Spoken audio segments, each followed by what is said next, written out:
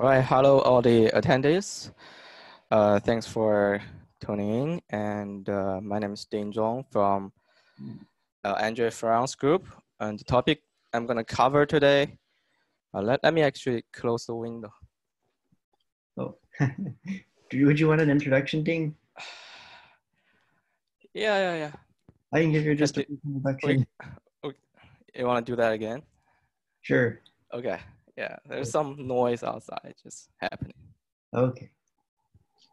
So, all right. So, everyone, this is Ding Zhong, and he's a member of the Faraon group and Nadj-Perge group. So, he attends group meetings with um, in, in my group sometimes. Um he came from the Xiaodong Xu group, but is now a postdoc and does interesting work with tungsten selenide um, uh, centers, defect centers currently, but this work here is going to be on his previous work at Xiaodong Xu's group in Seattle.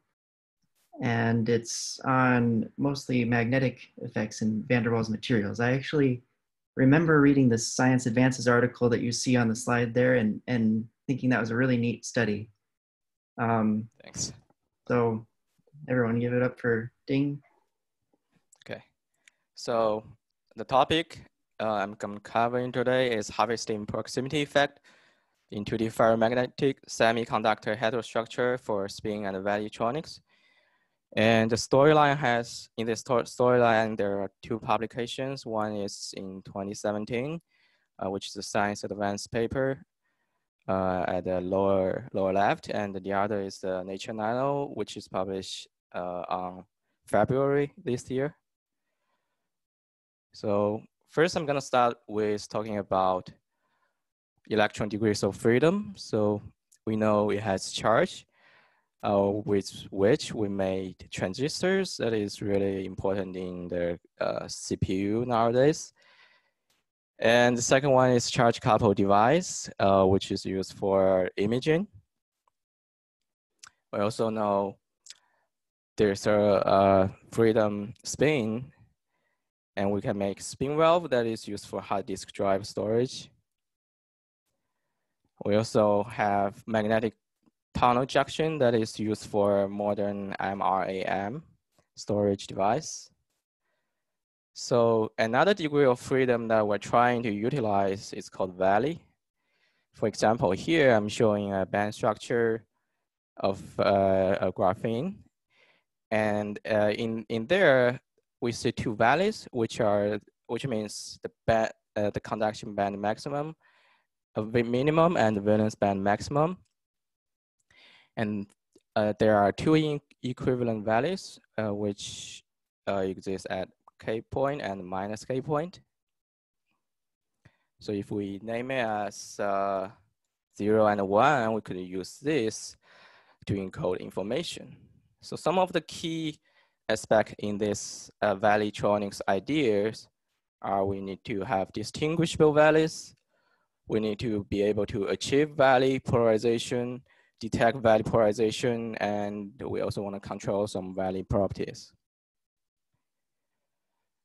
And uh, a great candidate for valley electronics is transition metal dichalcogenides. Usually we denote it as MX2 where M stands for molybdenum and uh, uh, or tungsten. X I mean sulfur, selenium, or uh, tellurium. So with this, uh, with the combination of this, we got uh, six materials, among which the MOT2 has a relatively small band gap, and the W2 is a semi-metal. So mostly we're interested in the rest four materials. They're semiconductors with appropriate band gap size, and they have very similar properties. And the property I'm going to introduce in the next several slides are actually shared by all of these four uh, materials. So let's start with taking MOS2 as an example.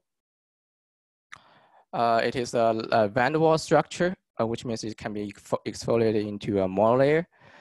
And something really special about it is that at the uh, monolayer of uh, MOS2 becomes a uh, direct band gap material, whereas the thicker ones actually has uh, indirect band gap. So uh, due to that reason, if you took a, a image of this sample here, uh, a photoluminescence image, uh, what you can see is that only the monolayer area is going to be visible and the rest of the area is dark. And on the right, we have a, a schematic featuring only uh, the band structure at the K and minus K point. So all of them show a photoluminescence, uh, and this feature coming uh, comes from excitonic emissions, uh, which means uh, when we excited uh, the excited material, we're gonna have electron hole pair. And in the most of cases, uh, the material is not gonna be intrinsic without any doping. Usually we have some electron hole doping during the fabrication process. So the most common spectrum we see is that there are two uh, emission peaks. One is the exciton. The other one is the trion, uh, which is, is the exciton picking up an ex, extra uh, carrier. Uh, it can be either electron, in which case we call it a negative trion, or a hole, then we call it positive trion. And the energy discrepancy between the trion and the exciton is the binding energy for picking up the uh, third particle. So what makes uh, MX2 a great candidate for Valleytronics is that it has no inversion symmetry.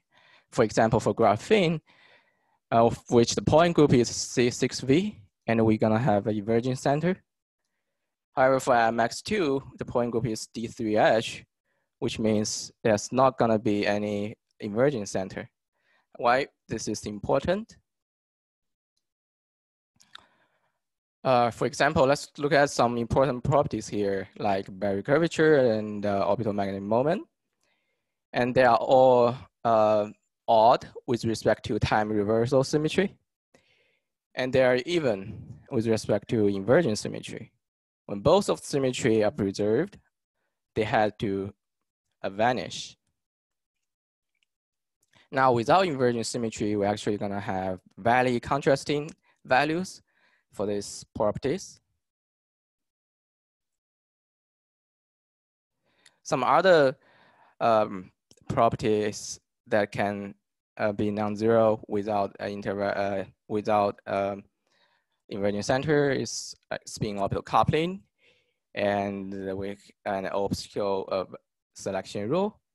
For example, on the right, due to the spin orbital coupling, we see that the valence band is going to split into uh, two energy level according to their spin polarization. And we will talk about the optical selection rule with greater detail. So here is a, a schematic of the band structure. Uh, usually, uh, the spin of the coupling for the valence band is really large that we can render the lower level um, uh, invisible. Let's just uh, ignore that. And we could excite the plus K valley and minus K valley respectively with sigma plus light and sigma minus light. So when, when they're excited, uh, we're gonna have the excitons in the plus K valley composed of a spin up electron and a spin down hole. In minus K valley, we're gonna have spin down electron and spin up hole. When these excitons relax, they will emit sigma plus and sigma minus photoluminescence accordingly, and the energy of which respect, uh, reflects the band gap size, uh, optical band gap size of, of this material. So now we have covered how we have distinguishable valleys, and we achieve, uh, we can achieve valley polarizations, we can detect valley polarizations, and I'm gonna talk about control of valley properties.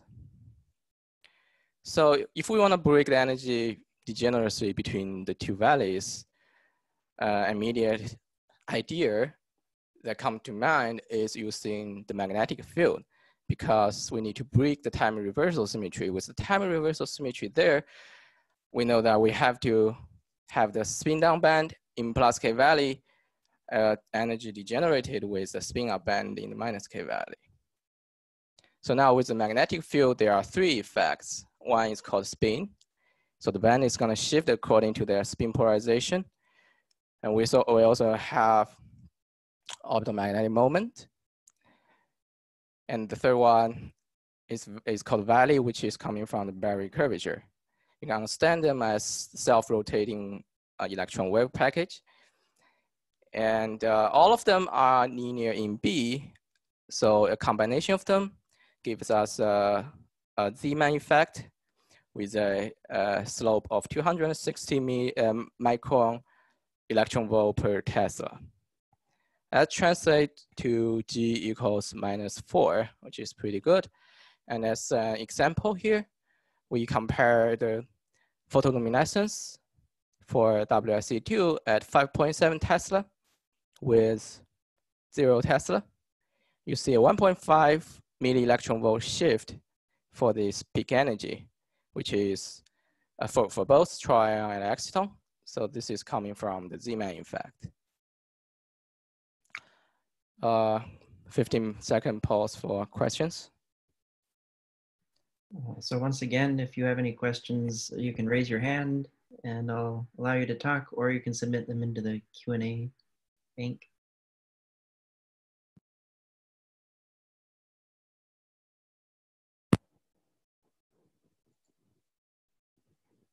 Let's see. Okay, so here's here's okay. question. Yeah, that's a great question. So if we look at this structure here,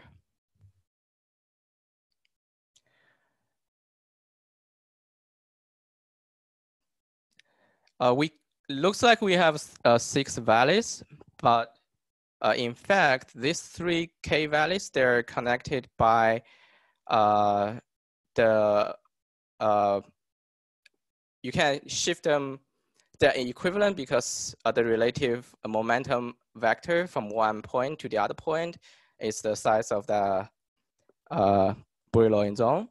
So they are actually uh, equivalent um, in that sense. Does that make, uh, make sense? If you if you add in uh, the um, I forgot what's that called the the reciprocal uh, lattice vector, you can get from here to there, which means they're actually the same thing.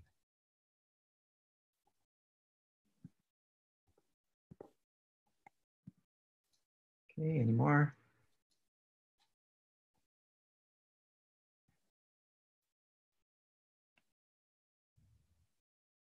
Okay.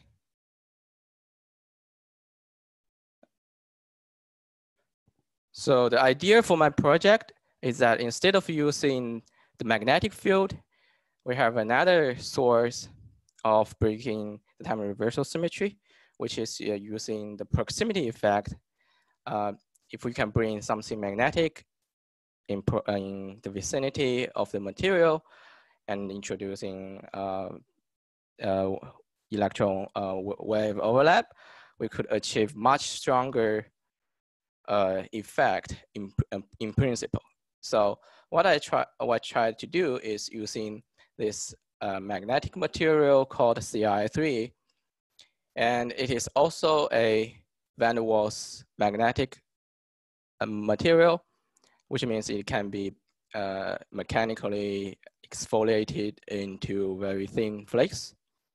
And at that point of experiment, uh, the fuel layer of CrI3 was still hard to achieve. So in the first project, we used a, relatively thin CrI3 that is 10 nanometer thick. And the CrI3, uh, people, has a, people had already known that it is a monoclinic at room temperature and rhombohedral at low temperature. Uh, important uh, number to remember is that it ha uh, it go through a Curie uh, transition at 61 Kelvin, which means below 61 Kelvin is going to be ferromagnetic. So uh, in this first project, I made a device that looks like this. I had a WSe2 interface with a 10 nanometer thick CrI3. Uh, both of them are encapsulated in boron nitrides. Uh, boron nitride are used for uh, protection for deg degradation. So by comparing the photoluminescence spectrum I took uh, above and below TC, uh, you see that uh, you see very uh, contrasting results. For the spectrum on the left, we have overlapping result between sigma plus and sigma minus, uh, which means uh, time reversal symmetry is preserved. However, on the right one, we have a different result for sigma plus and sigma minus, uh, which means the time reversal symmetry was already broken. And that means the CrI3 must have already magnetized. So the spontaneous magnetization was uh, already happening. So what's the origin of this emission peak? By adding a, a electrical gate, we can do, uh, tune the doping in this device. And what I saw is that uh, the emission that dominates the zero voltage uh, is actually the, uh, the positive trion. And we actually see a little bit of exciton on the higher energy side. If you look at spectrum here, the exciton is actually somewhere here. And the main peak we have is the positive trion. So this uh, agrees well with the DFT simulation for the band structure. And you see that first, they form a type 2 band alignment with WSe2 conduction band lies below, sorry, uh, lies above uh, the CrI3 conduction band and the valence band uh, of WSe2 is also above that of CrI3. The second observation uh, is that all the CrI3 connection band that is below WSe2 is being polarized. So first we use rho to uh, denote the uh, intensity difference between uh, the spectrum. So we define rho as the intensity difference normalized by the intensity summation, which gives us 0.3 in this case. So the intensity difference uh, is coming from uh, the uh, ultra fast uh, spin selective charge hopping. Uh, when the minus k value is excited, we're gonna have the spin down, uh, we're gonna have the exciton with spin down electrons. And these electrons are allowed to transfer into the CrI3 band, thus quenching the emission from the minus K valley. However, in the plus K valley, that's charge tran uh, tra transfer is not allowed because the anti-aligned spins. And therefore, we're gonna have a stronger emission from the plus K valley. And second, uh, phenomenon is the uh, energy shift between the sigma plus and the sigma minus.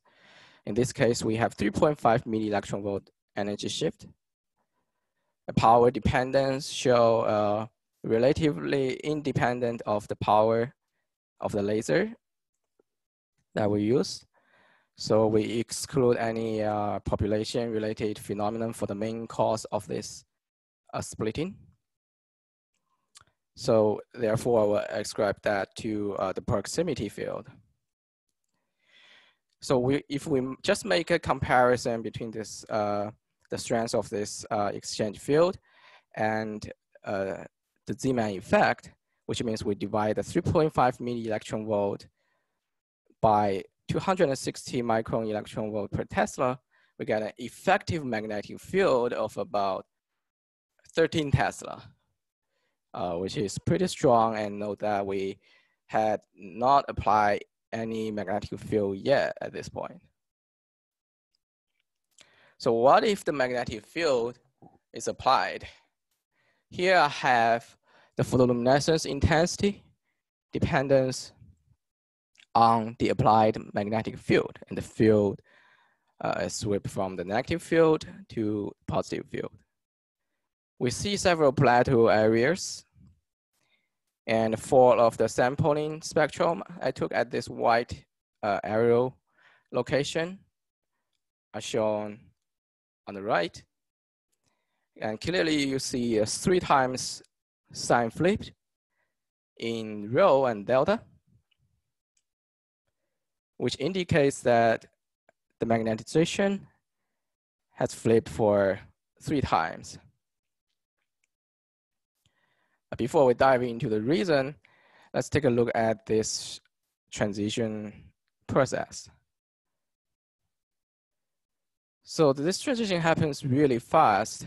If we compare 0.8 Tesla uh, sigma minus spectrum with the 0.0806 Tesla, we already have a peak energy shift of 4 milli electron volt. Uh, by comparison, if we look at a plain WSe2 device with Zeeman effect, uh, comparing the, the spectrum taken at minus 5.65 Tesla with that of 5.65 Tesla, we only uh, can achieve 1.5 milli electron volt energy shift. So uh, in short, uh, this process achieves uh, the energy tuning, the switching, uh, uh, with a speed of about three orders magnitude faster than a plain WSe2 device. So now let's take a look at this uh, sign flip thing. If we plot out uh, the rho as a function of magnetic field, we see that uh, it looks like this. A, a clear uh, sign flips three times. And then we try to put our laser on a different location on the device. And what we find was uh, interestingly, the dependence was completely different. So to understand that, uh, I, I, I thought I, what I should do was I, I do, uh, I do a raster scan over the whole sample at a certain field, and then I changed the field and did another raster scan to looking out uh, to, to, to looking for any uh, non-local information, a non-local dependence of this uh, uh, index rho. So what I had was uh, looking at this uh, with an increasing field where we start at minus 1.1 Tesla,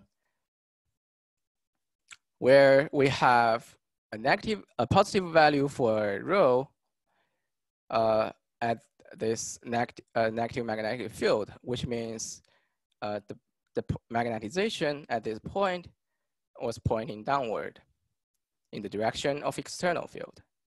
However, if we ramp the field up, we're starting to have these anti-aligned magnetic domains. And the domain pattern actually evolves when the field is ramped. And finally, we have a, a negative value of rho everywhere, which means now the magnetization is pointing up. Uh, sweeping the field from the other direction, we get very similar result.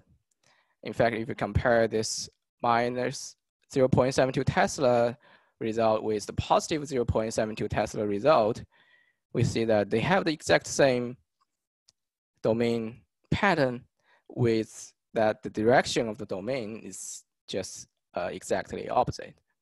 And we call them time reversal pairs because they are actually related to each other by time reversal symmetry. And now if we look at this location,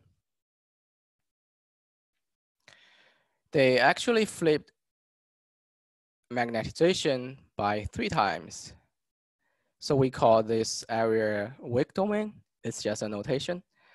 And for this area, they only flip magnetization once, we call the, the strong domain.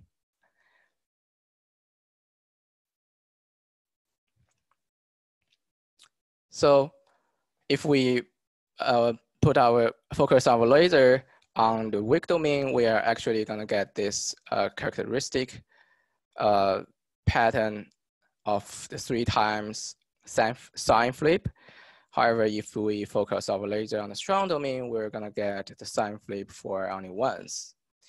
And the uh, mechanism for this uh, phenomenon is that we can understand it as a energy competition between uh, the dipolar energy, the exchange energy, and the domain wall energy. And uh, at the strong external field, the magnetization is going to be overwhelmed by the external field, and therefore it will be pointing at the direction of external field. When external field is weaker, uh, it tends to form this kind of domain structure to minimize uh, the free energy of the system. And in fact, uh, if we uh, put the laser in the middle of the uh, weak domain and strong domain, we're gonna see this pattern uh, gradually evolve from the weak domain pattern into a strong domain pattern, uh, which unravel a very uh, abundant magnetization dynamics in this material. So in, in summary, we review a ultra-fast uh, spin-selective charge hopping, and we have uh, achieved large effective magnetic field at spontaneous magnetization. We saw fast switching of valley splitting and valley polarization via flipping the magnetization of CrI3. And we find a creative method to reveal the domain pattern in CrI3 by detecting the valley polarization in WSe2. So 50, uh, 15 seconds for questions.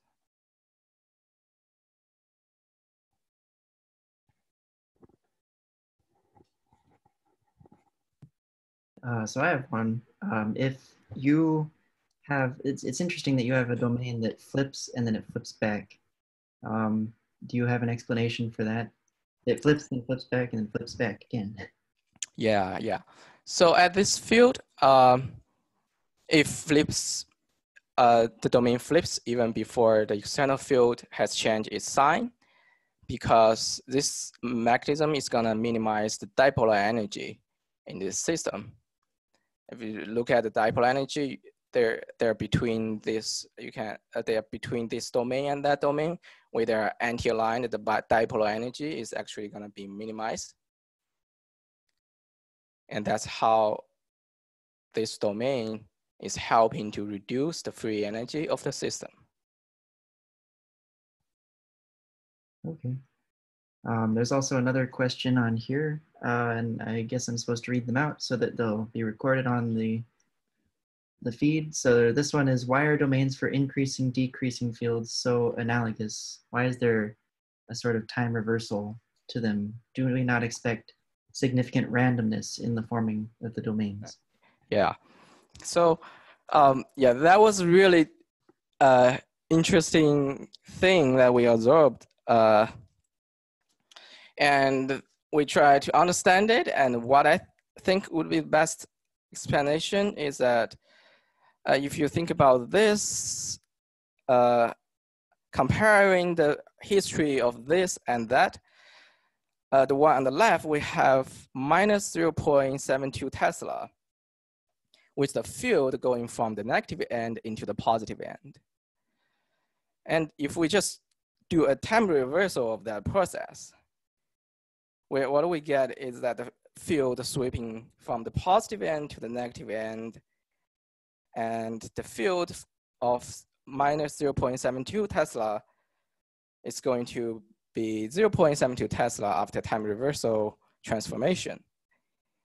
And the result will also follow that time reversal uh, transformation, uh, which means the magnetization will be reversed when you do the time reversal uh, transformation.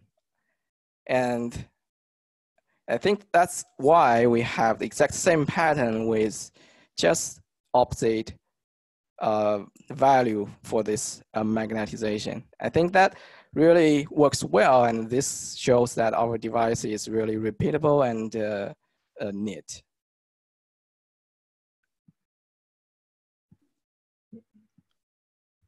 Any other questions? Feel free to raise your hand and we can have you talk as well.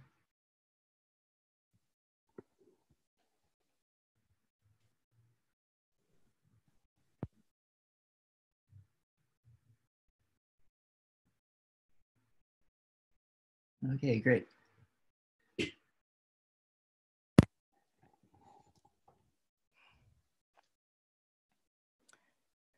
All right, so for this uh, second pro project, uh, in, in the first project, I used a relatively thick CrI3 that was 10 nanometer. So after some time, uh, we, were, we achieved fabrication of thinner CrI3 and we gained some important knowledge of the magnetization in this few layer CrI3s. So in this uh, second project, I'm gonna use the tri-layer and the bilayer CrI3 to help me understand the layer resolved magnetic proximity effect better. So let me quickly go through some important properties that we uh, know at the point of the project. So the RMCD experiment is an optical uh, measurement that measures thin film magnetization. Basically, it reveals the overall magnetization in the system. So we find that at a negative magnetic field, uh, the trilayer CrI3 is gonna start with the down, down, down state. And when the field ramps up, we're starting to have this down, up, down state. Which transit into up, down, up state. And finally, and, and it ends up uh, with up, up, up state at positive magnetic field. So uh, in short, it tends to stay at a uh, antiferromagnetic aligned ferromagnetic layers. And when, however, when the external field is too strong, every layer is gonna be aligned with the external field. So what does rho and delta respond to these transitions? So here we have observed uh, these transitions in rho and delta at the exact field value to that of RMCD. However, uh, the magnitude and direction of the transition can be different from uh, the RMCD. Uh, before we dive into the details, let's take a look at the bilayer result as well. So the bilayer similarly uh, start with down down state at negative magnetic field, which transit into a up down state or down up state that we don't know. And finally, at positive field, it's gonna be at up up state. So similar story for bilayer, uh, in the WSe2 photoluminescence, we also observed these jumps uh, at the same field value of CrI3's magnetization. And let's try to put them together and summarize some common features. So for these really large jumps, uh, which are the jumps on the right, we see this jump actually and corresponds to the interfacial CrI3 layer, uh, rever reversing its magnetization. And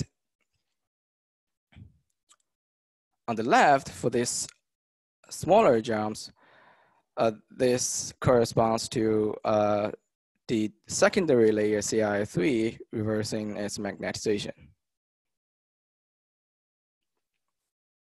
So also in, in we know that in those in, in last project, we also have this little jump over there, which I didn't know why, but now I I guess it could be the secondary layer in that, um, in that uh, CrI3 stack uh, is reversed. To understand this phenomenon, uh, this is coming from a prim primer, primary charge hopping into the interfacial layer from the WSe2 into the CrI3. And this hopping is reinforced if the secondary layer is also uh, spin aligned. Whereas for the delta, we have, we have this large jump when the interfacial CrI3 magnetization is flipped. And we have a jump that is in an opposite direction uh, to that in rho. And we, to understand this phenomenon, we need to consider a kinetic exchange interaction uh, framework. And uh, so suppose here we draw out the uh, conduction band for WSe2 and CrI3. That is the interfacial layer and that is the secondary layer. And when the uh, electron wave uh, for of this WSe2 is overlapped with CrI3, the electron it can have this virtual hopping process where it hops into the CrI3 and back. And the hopping amplitude is indicated by TC. And if we write down Hamiltonian in the base of where the electron is located, uh, for example, this, the first the first uh, base we use is that electron is staying at WSe2 layer, and the second base is at WSe2, uh, the electron stay at the CrI3 layer. So we're gonna have the Hamiltonian written in a matrix like that, whereas the delta C is the uh, energy difference between the conduction band of WSe2 and the CrI3. So we could get a correction term for the uh, band edge of this WSe2 um, conduction band that amounts to Tc squared over delta C. Similarly, when the secondary layer is aligned, now the electron could stay either in WSe2, uh, top layer CrI3, or the secondary layer CrI3. So we have to write the Hamiltonian in a three times three matrix, whereas the DC denotes the hopping between two CrI3 layers. Uh, with some mathematical method, we could actually get the uh, correction for this uh, band edge energy that looks like this. And uh, the, the publication came out at the same time I did this research and that simulation, it was a simulation on the CrI3 band structure. And it shows that the valence band of CrI3 is also uh, spin polarized. So that means the same picture will work also for the valence band. And ultimately, the optical transition energy is going to be the energy shift of conduction band minus that of valence band. So for FM state, for AM and AF FM state, we're gonna have different value of them. Uh, with reasonable choice of parameters, of course, we don't have an exact idea how strong those uh, values should exactly be. But we, with some reasonable choice, we could reproduce uh, the value that we saw in the experiment uh, pretty well. And with this phenomenon, we now have a way to resolve the, uh, the interfacial layer and the bottom layer because the WSe2 respond to them differently. So that helps us to have some layer resolved imaging of the CrI3 magnetization.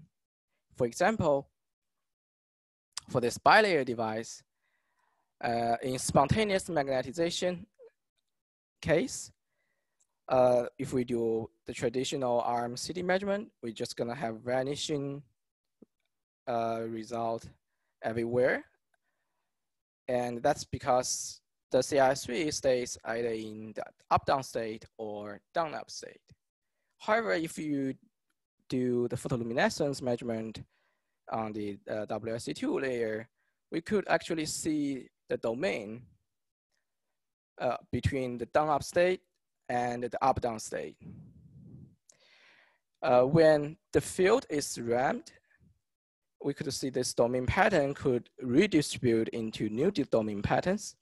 Here we have zero Tesla up and zero Tesla down. In fact, also, uh, if you focus your laser uh, at one of the domain, here we name it as one and two, uh, you could see the magnetic dependence of rho is uh, having a contrasting result between the domain one and domain two. In the domain one, we have this large jump on the right and the small jump on the left. In domain two, we have the large jump on the left and the small jump on the right. And that agrees with the fact that in the middle, uh, we have a down-up state in domain one, and we have an up-down state in domain two. Another interesting thing that we could uh, use this property uh, to do is that we observe how the transition from the antiferromagnetic state into the ferromagnetic state happens. So for example, here at 05 Tesla, uh, we have a AFM state of bilayer CrI3. So the red means it is in the down up state. And the blue color means it is in up up state, which means uh, the CrI3 is transit from the AFM state into the FM state. And we could see that it actually emerges locally at 0.55 Tesla and expands until the whole area of this flake is now in the FM state. So this whole process actually uh, took place between a field span of 0.2 Tesla. Uh, with traditional RMCD measurement, this uh, process is uh, less obvious to see. And as a summary,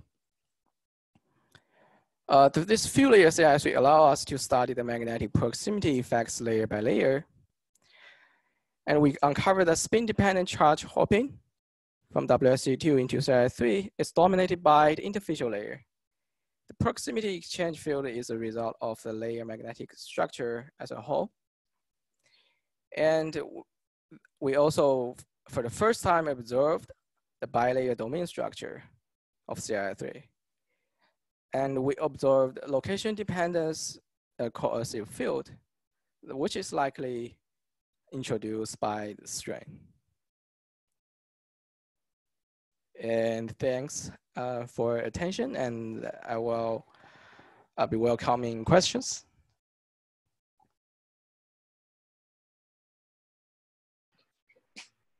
All right, any questions?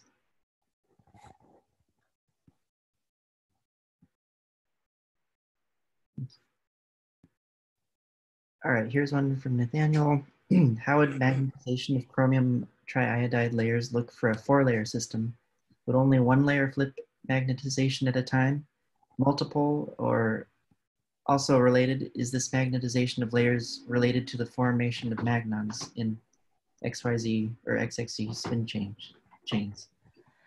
So uh, for the magnetization of uh, the CrI3 layer, for four layer system, uh, it will uh, go through a similar uh, process. It starts from four layer pointing downward into one layer upward. Uh, and then bi-layer, two layer upward, and the uh, three layer upward and four layer upward. Uh, whereas in the middle, there are some randomness between different samples. So some sample, for example, for the uh, three layer up, one layer down state, it could be up, down, up, up. It could also be up, up, down, up. And uh, we saw for different sample, this different state appears. And uh, the up state is always in the secondary layer or the third layer because anti-ferromagnetic aligned structure is favored for this uh, 3 material.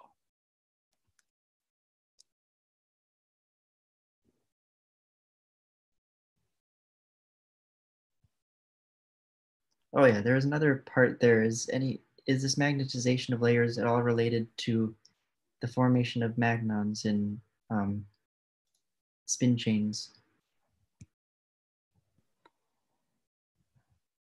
Um, um, for this question, I'm not uh, sure about the answer to that. Yeah. Okay. Um, so another another point is: is there any asymmetry between uh, the layer that's closest to the tungsten diselenide versus the layer that's that's farthest away? Uh, say in in like a four layer system, is any is the one closer to the tungsten selenide ever more or less likely to transition?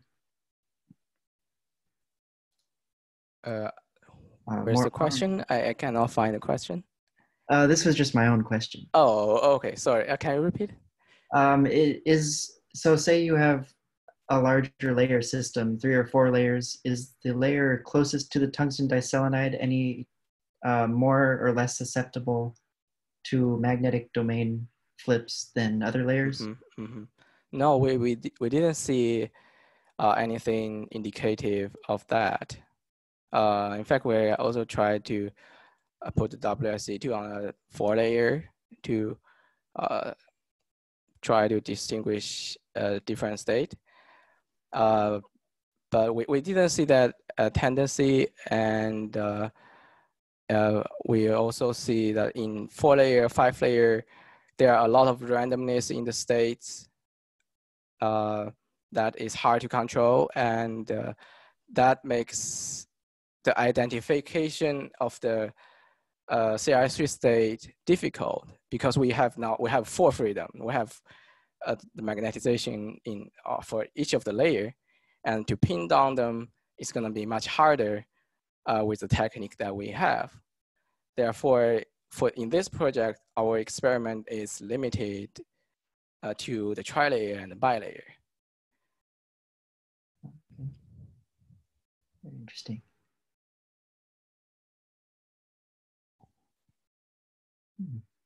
Any other questions?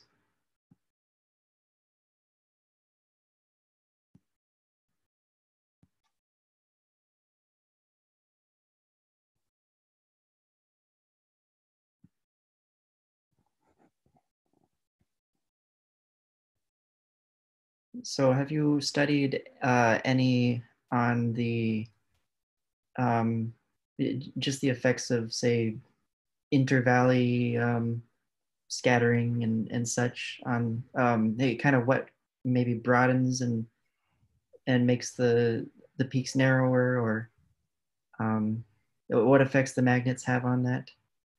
The inter the intervalley scattering in this system is actually uh, quite low because if you compare the spin of uh, the of the band between uh, if the, the spin of the state between uh, minus k and plus k, they are opposite, and they are also separated by the momentum.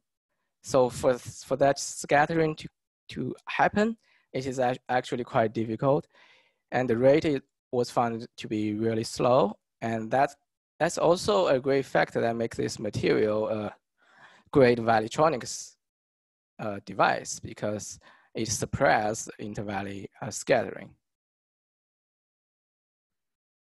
Great. Interesting.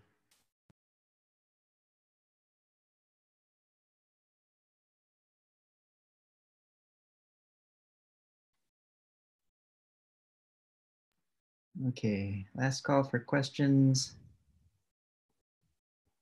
Hi, Ding. I have one question. Um, I guess a, a lot of your talk, you're talking about like, uh, you know, fixing the number of layers and then driving the uh, the transition with the magnetic field. Um, and I guess kind of going back to what you were talking about before with like, you know, more layers. Uh, would you expect it to be interesting to like fix the magnetic field and then try to drive the transition by adding layers, or is that something that's possible? Or I don't know if that makes sense. Uh, what do you mean by adding layers? Like, uh, like you talked about, like the the bilayer and the trilayer system. Yeah. Uh, would you expect to be able to drive through a transition by adding layers? Um, and you know, I guess you, you said experimentally it's hard to control systems with more layers, but yeah, we, we, we cannot add uh, layers uh, amid the experiment. We have to make this device beforehand, and then we put device into a cryostat and cool it down. So we cannot. Uh huh. But maybe I guess like if you manufactured like uh, a series of these devices with increasing numbers of layers, I don't know. Mm-hmm.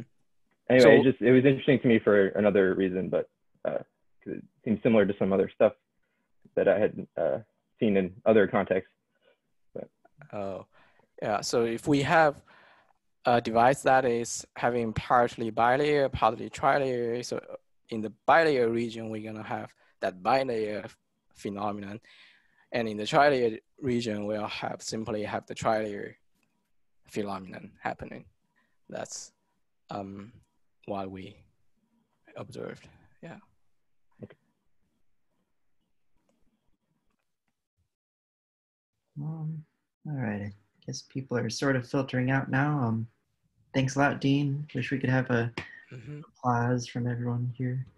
Mm, thank um, you, thank you, thank you for good talk. organizing yeah, the event. Appreciate all the, the pictures, and it, it's just very interesting to see how how the images work with the domains. You can actually see domains flipping and such. Mm-hmm. Yeah, I, I, remember that was actually kind of a eureka moment for my PhD. I, I, I, because I, I saw these transitions first, and I was troubled for quite a few weeks until I left the system to do the raster scan, and then I went home that night. And the second day, of my work, I came here and I saw this result. I was like, holy shoot, I know what's happening for the hmm. whole time. Yeah. And the whole story suddenly just unra- unravel in front of myself. And that was really exciting for me, that moment. So I think I was, that, that, that, that moment was really um, uh, remembered. Oh man. Yeah, I bet it, it's just so clear with the photoluminescence. Yeah. It's great.